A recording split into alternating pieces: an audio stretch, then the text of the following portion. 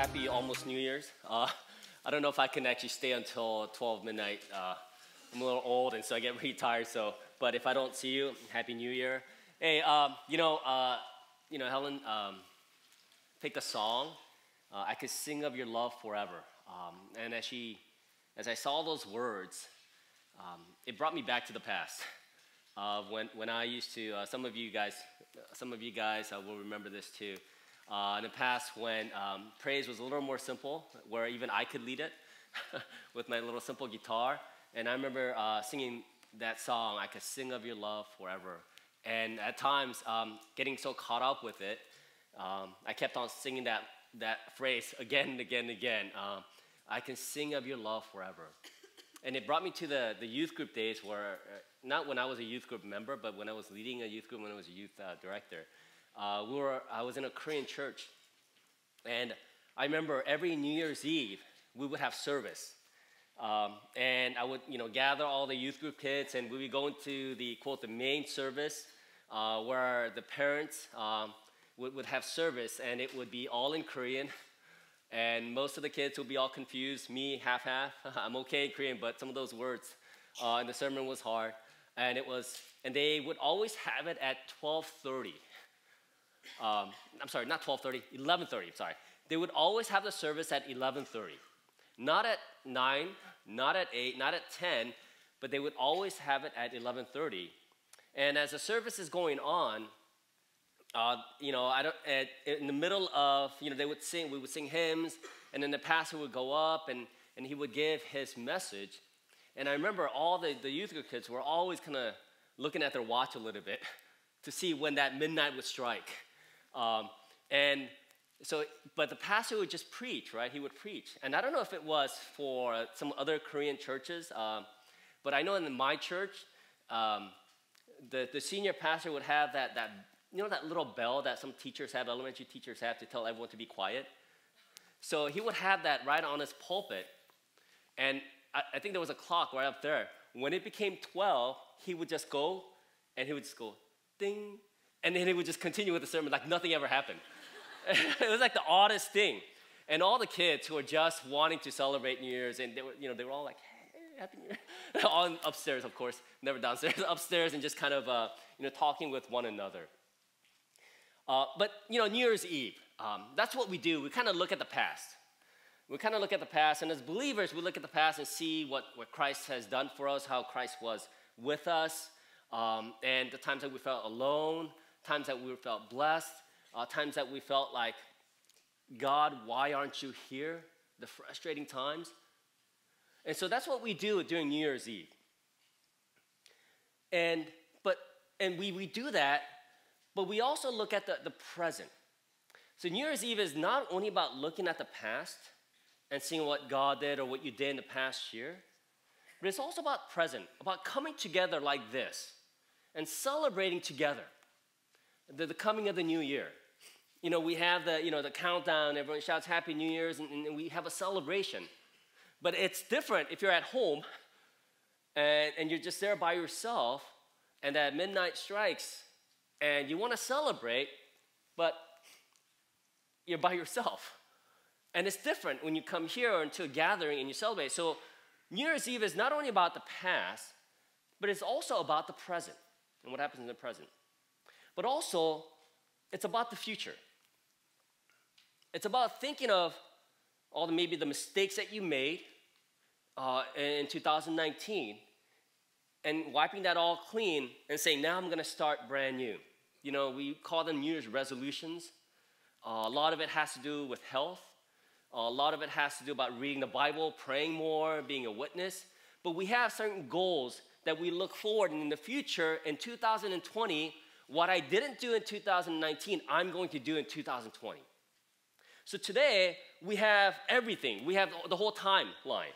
We think about the past, we, we think about the present, and we think about the future. And what's more appropriate? In light of the past, the present, and the future, what's more appropriate than talking about communion? Because communion has a past relevance, has a present relevance, and a future relevance. you know, one of the good thing, great things about that service that I went to every single um, uh, New Year's in my Korean church was that we ended the year worshiping God. And the very first thing that we do did was worshiping God. Yeah, we did it continually, but the last thing that we did, 11:59, we worshiped God. And 12:01, we worship God. And it was all focused on God. And what this communion does, it helps us to focus on who God is, what He has done for us, what He's doing right now for us, and what He will do in the, in, in the future. So, what I would like and invite you to uh, look at communion uh, in a deeper way today. You know, normally we would have communion every first Sunday uh, uh of every month, and you know, either my, myself or Pastor uh, Steve would come up and give maybe a minute or two kind of an instruction on what communion is, and we would have all the elders come up, and you guys would come and you would take the, the bread and wine or the bread and the cup and go, and we would do it all together. What I'm gonna do is, I'm not gonna give a message per se, but I'm just gonna extend communion. And I wanna, what I wanna do is, I wanna talk about what communion is and the implications of taking communion. And then do commune together and pray together and kind of end the year like that. Thinking about God uh, nourishing us and looking forward to the future when we will dine with Him. Now, you might say there's not too much to talk about. Don't, you know, we come, we remember Jesus' death on the cross, we drink, we eat, and then we're done. But I feel like there's a lot more to it. You know, I know this is not uh, in the 1500s, but you've heard about people who stood up for their faith in the past as heroes, as martyrs, who stood up for the faith. They didn't, they, you know, about, with the Bible, with, with other things. What not too many people know is that this communion, the Lord's Supper, the Eucharist, there were so many people who actually died because they held the wrong belief about communion. Those people who died took this and the meaning of this so seriously that they would rather die than think something else about what communion rather uh, um, as opposed to what God has to say. So I know that you know, and, and now it's not. Yeah, if we have the wrong view of communion, we're not going to be beheaded or we're not going to die. Somebody's not going to come. We have that freedom in this country. But I think we sometimes have uh, put the meaning of communion so low that it just becomes sometimes superficial. That's what John Piper says. That when we do communion, we come up and we just eat it, and then we're done. And it means absolutely nothing to us except that we did it.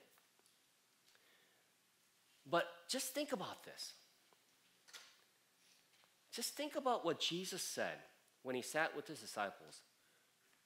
And he said, Do this in remembrance of me the specific act of the Lord's Supper. He said, Do this. And when you do this, you will remember me. Tell me a, another passage. There may be one here too, but tell me a passage where Jesus says, Do this. And that will give you a picture of who I am, of what I've done. Yeah, there may be things that God commands us to do. Love one another. Go read the Bible and do all these things. But where does it say, when you do this specific thing, you will remember me.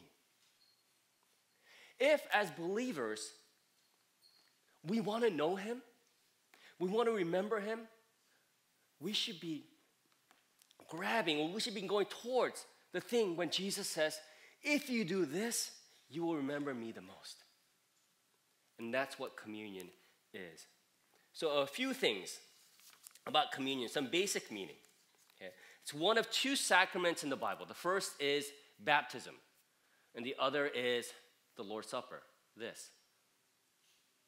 You know, and we, a lot of times we celebrate baptism a lot. Uh, not only at our church, we elevate those who are, you know, baptized, and we celebrate those Sundays. Uh, not only at this church, but other churches, they celebrate it. Uh, they, you know, it, it has a lot of meaning. And we give, you know, flowers, we take pictures. And that's good and that's appropriate. But how many times do we take the Lord's communion and walk out and give flowers and take pictures? Because baptism and the Lord's Supper are, are the same. They're two sacraments where Jesus says, do these two things. Baptism is that initial symbolism of the entrance into the kingdom of God. The Lord's Supper is a continual fellowship that we have with Christ. Yes, baptism, we only do it once because it tells us you come in, you're good. But once you come in, as much as we celebrate baptism, the Lord's Supper, sometimes we need to celebrate as much. Because it's a continual reminder that we have fellowship with God. That what happened at baptism is continual. So it's those two sacraments that we celebrate one, baptism, and the Lord's Supper. The second, it is a means of grace. I know that maybe word uh, um, may be a little unfamiliar to, uh, to most, but it's a means of, of grace.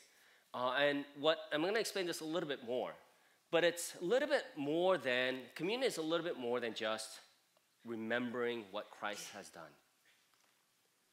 It's actually a means by which Christ uses or God uses to pour blessing upon us. It is not something that happens automatically that you don't care. You just kind of walk up you take that little piece of bread and you eat it. Oh i'm filled with you know blessing and grace. That's not exactly how it goes because you have to do it with faith. You have to do it with a knowledge that, that god is your savior. But god uses this communion here as one of the means of grace. And if we want more grace in our lives if we want more blessing in our lives by faith we come and do this so it's a means of grace uh, next is it is a covenant meal. So one of the things that that we um, think of, of, when we talk about you know we talk communion, we don't actually say supper, the Lord's Supper. It sounds kind of uh, outdated. We say communion, and we say, well, it's not really feeding us. It's a little piece of cracker, a little grape juice. But I think according to the Bible, this is actually a feast. It came out of the, the Passover meal. But what is interesting is when you look at the Bible, there's a lot of people that sit down and eat. Uh, there's a lot of stories of it. You know, when we think of eating as just, you know, you eat and you go and you do something important. Eating is something you have to do. But when you look at the, the Bible, there's a lot of eating time. There's a lot of feast. It's not just that the old people or the Jewish people, they love food. I'm sure they do. But it had a significance of eating. Because the, the meals that are talked about a lot in the Old Testament are what we call covenant meals. It's a covenant meals, and it's, it's like this. If you had a fight with one of your friends, I mean, real, you know, a, a big fight with one of your friends or somebody you hated, okay, and you were at odds with that person, and you were just yelling, and, and, and after a while, you kind of try to make up a little bit and says, you know, it's okay, my fault, your fault, my bad, all that stuff you make up, okay? Now, after that incident, you could kind of walk away and say, oh, I still hate this guy. But you said it, right? You kind of reconciled, but not really in your heart. You walked away. Try this if you ever get into a fight with, with somebody, okay? Once you reconcile with that person, go and have a meal with them. If you go have a, have a meal with them and you sit down face to face and you're talking it's kind of when you know that it's all good. Think about it, because meals are, are, are, are things that, that's, that, that binds people together a lot. You know, uh, except when you're on your phones. But take out the phones out, and you're, you're sitting there, you're eating, and you know how it's awkward if you don't talk? But what happens in a meal? You sit down and you start talking. You converse. You communicate. You have communion. And a lot of times in the Old Testament, when people were fighting or they were making treaties, what they would do is to ratify that treatment, a treatment, that, that treaty is they would come together and they would eat a meal. They would eat a big feast. And that certified that the treaty was confirmed or the argument that you had with that person was no more. It was a covenant meal, and that you can see that in the Old Testament again and again. You see it in the book, you know, Noah. When Noah, after God flooded the world, Noah comes out He does the altar, but he kills an animal. You know what he did? He does? He eats. He has a feast. What happens with the, with the book of Exodus? When God finally takes them out of the land, to celebrate that, God creates the Passover meal. You see, what this represents here is a covenant meal. Meaning that there wasn't, there were odds, there, that somebody was in odds with another person. And if you think about it, it's Christ had a problem with us. God had a problem with us. And what this symbolizes when you come together and eat is that that friction, it's been reconciled. And you're dining with Christ. That's what this thing represents. It is a covenant meal that God's salvation is so deep and so complete that He can sit with us and eat with us. Remember Isaiah when he came before God. And he came into the presence of God. Just in the presence of God. He says, Woe is me. I am undone. Because me, a sinner, in the same presence as God, the Holy One, that cannot be. But yet, we're not only in the presence, but we're actually eating a meal with Him. God's salvation, God's reconciliation through Jesus Christ's death and resurrection is deep and complete. So it is a covenant meal.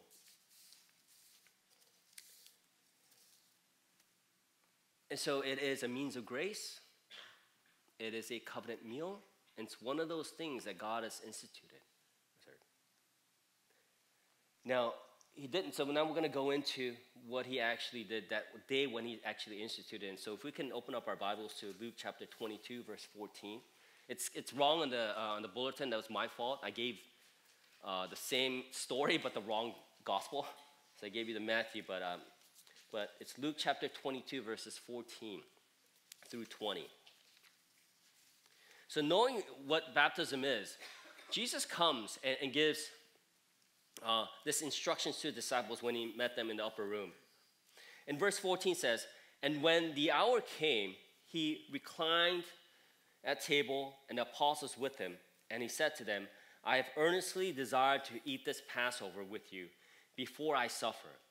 For I tell you, I will not eat it until it is fulfilled in the kingdom of God.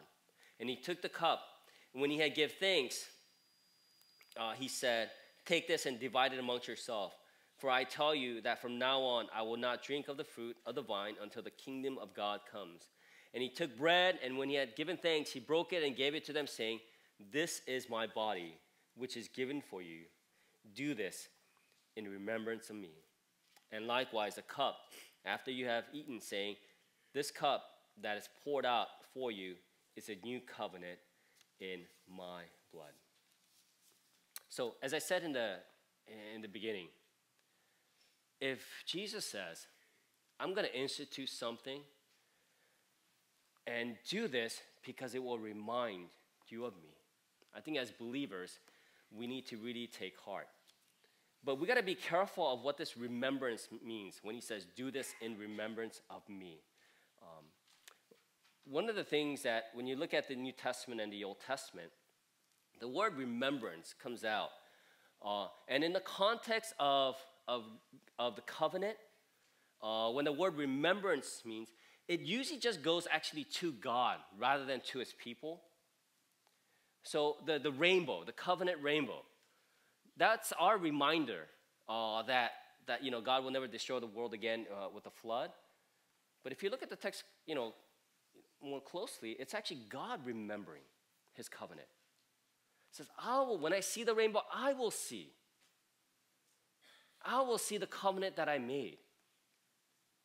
When we do, when we're when we're taking communion and we're taking to our you know, do this in remembrance of me, the first person that remembers is God the Father. As we come and, and take the bread and wine, Not that he forgets, but he says, I remember my covenant that I made with you. And I'm going to pour out my blessing. Now, and for also, but also for us, we come in remembrance. But the word remember um, has a meaning of, you know, um, you know, there's something in the past, something that happened, and I'm going to remember that thing that happened. And that's kind of our definition remembrance. In the past, Christ died for us on the cross. So I'm just going to remember it. But I think it's a little bit more than that. Um, I think what, um, and I'll give you a silly illustration. Um, my, my wife and I, um, I remember, uh, and I don't know if she remembers, but I, th- as, as clear as it happened like yesterday, I remember the, our first kind of fight. I do. And it was something, over, something stupid, okay? And I remember, uh, I, and I don't know, it might have been a week after we got married, or a couple of weeks, I. First week we went to honeymoon. Second week uh, we came, and I remember um, that I, um, I wore this one shirt. Okay, I and I'm not sure if I wore it. I, so I just, and, and I, I remember I, I, I, took it off the next day, or the night, and then, and I put that in the hamper. Because I was gonna wash it. And my wife said, What are you doing? You only wore it once. You don't wash shirts after you wear it once. Because no, it's dirty. I'm a guy, I sweat more. so I need to wash it. So I remember throwing it into the, the, the, washer. And I don't know if this is exactly what happened, but this is it's so traumatic that I, I, I remember it this way. I remember she, she took it out of there and she threw it into the, the drawer. I was like, what do I, what do I do? Do I get into a huge major fight over this shirt?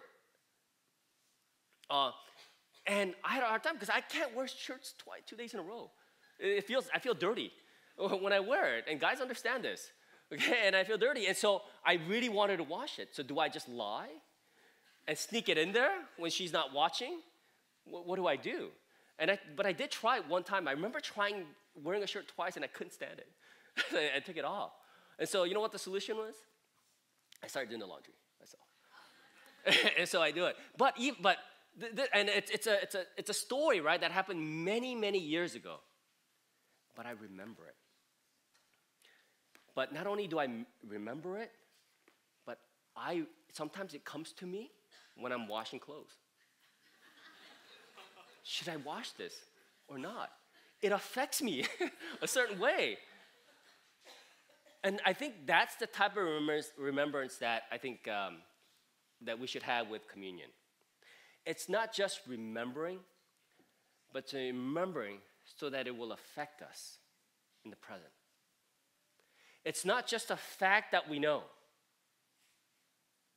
but it is something that affects us here and now. Something that happened in the past affects us. Maybe for you guys, some of you guys, it might be some person saying a particular word or a word of wisdom, and you just can't get it out of your system. And whenever you think about that, it makes you act a different way. That's what communion is. It's not just remembering, it's a means of grace where God blesses us, convicts us of what He did, so that it will change us in the present and it will change us in the future. Whenever we walk out and after communion, we should go out changed. We should be convicted to do something for God. We should be thankful in our hearts that Christ did this for me. We don't just walk out of communion and say, okay, we did it, and that was it. The communion for you was just a fact, was just something that you remember.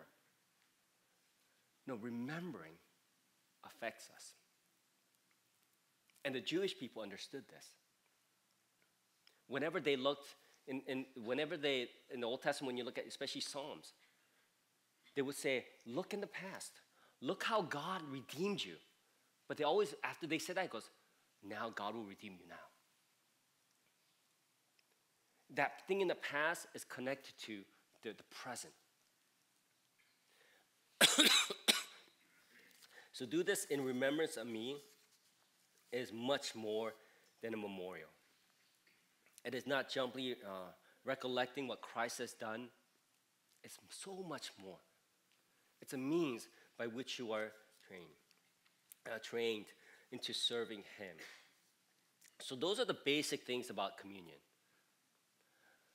Now, as you take communion, as New Year's, we look at the past, the present, the future, and I kind of alluded to that. But let's get a little more specific about the past, present, and future as we take communion. How does communion tell us something about the past? Uh, and this is the most simple thing, right?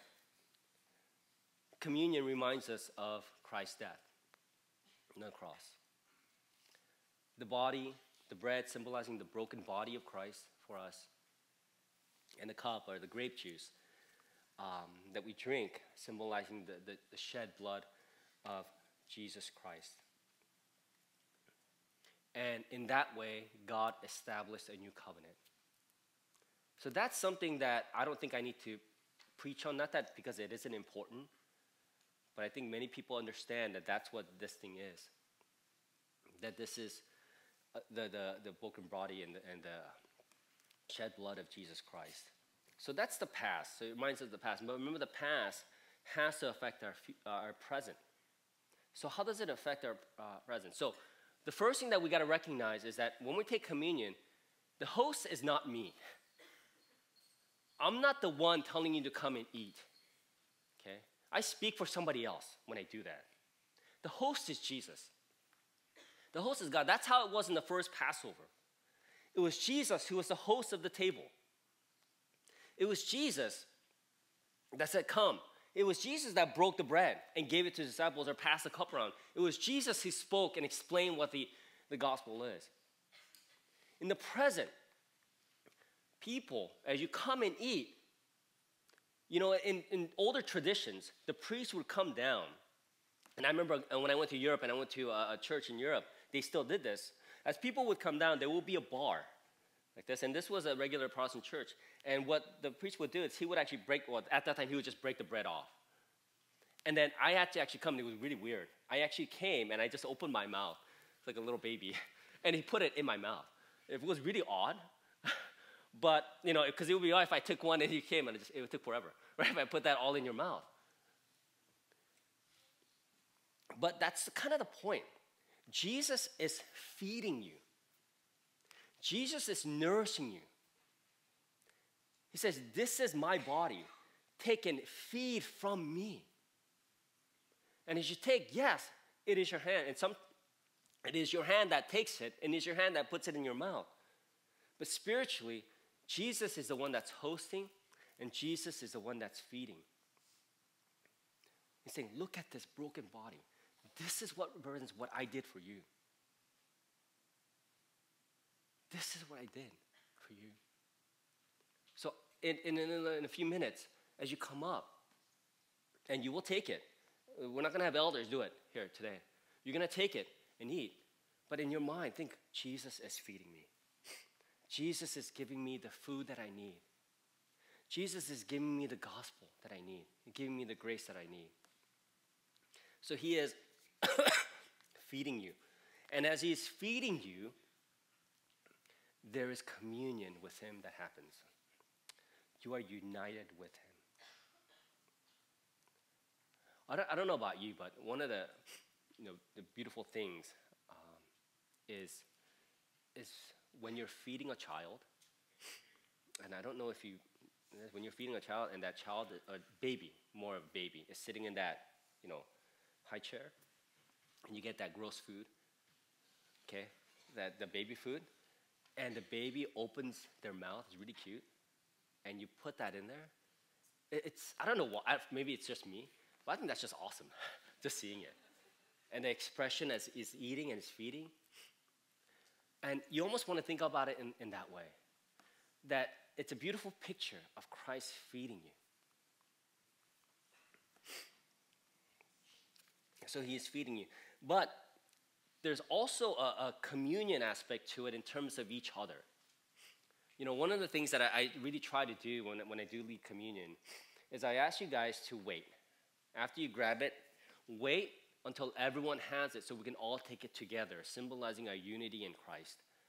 Um, because I, you know, at, at times when, when, I've seen other uh, people do it, not at our church but other places that I experience, is we all they all kind of came and kind of randomly took it, and then they took off and all that stuff.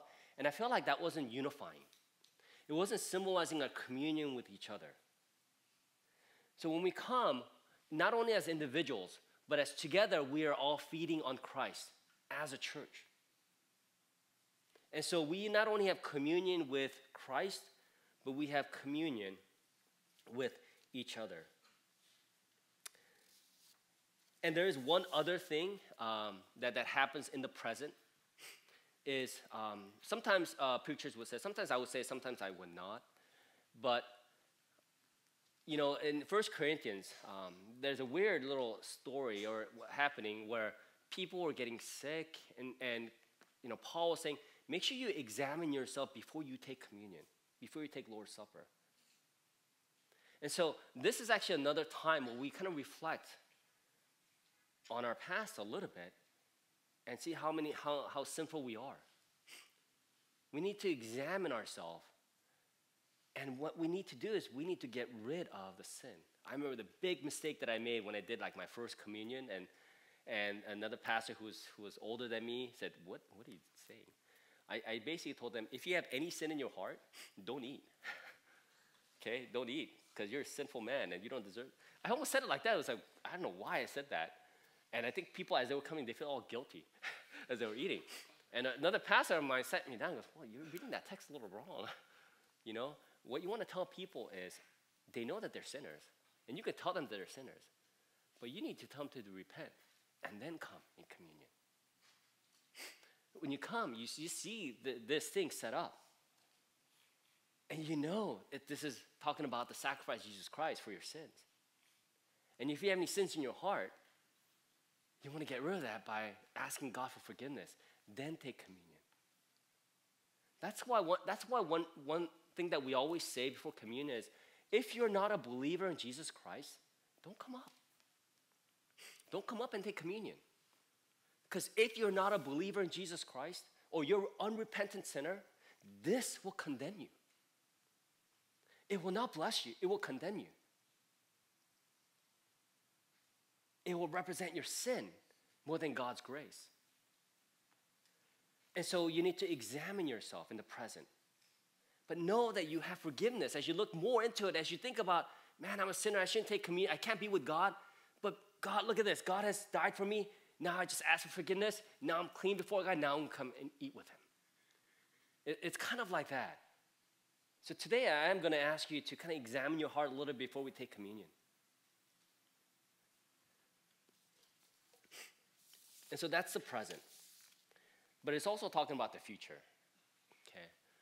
You know, there's in Re- book of Revelations, there's an image of a great banquet that, that we take that we'll have with Jesus Christ. When all things are done, one of the first things that's going to happen is God's going to gather all of us and He's going to share a meal with us.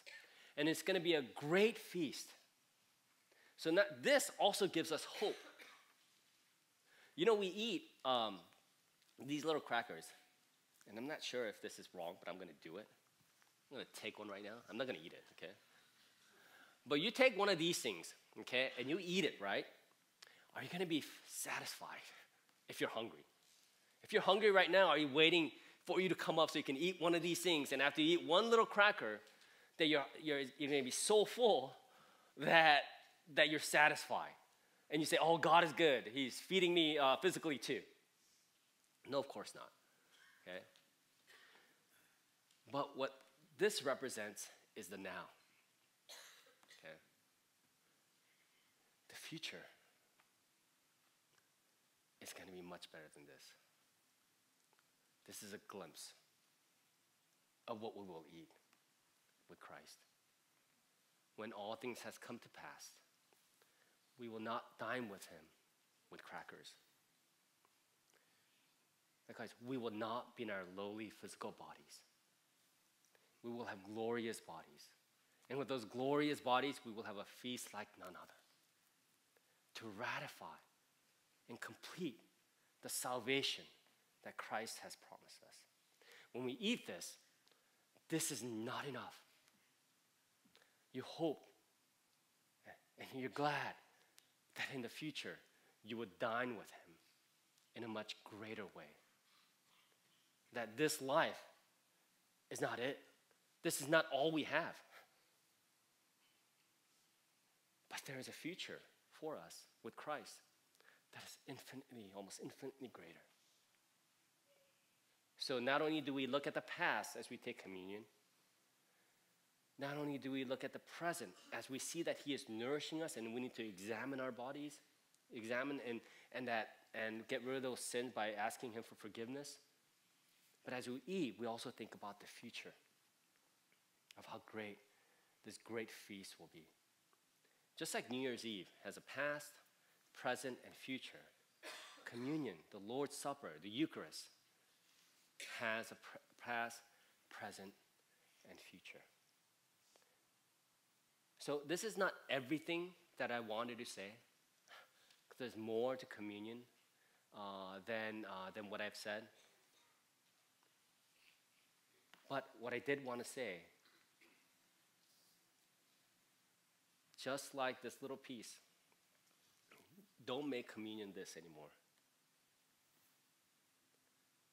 Don't make communion something of just, I eat it, gone, eh, that's fine. I did it, nothing big. No, make communion greater next year or even today. Make it a means of grace where you come, you seek forgiveness, and you receive it. You think about what Christ has done on that cross. Think about the present as He's nourishing you, telling you that He loves you. That's why He did this.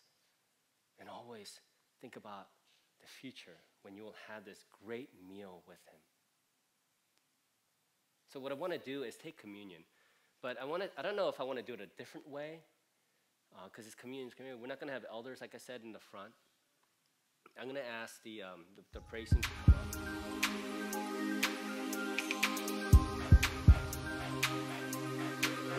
up.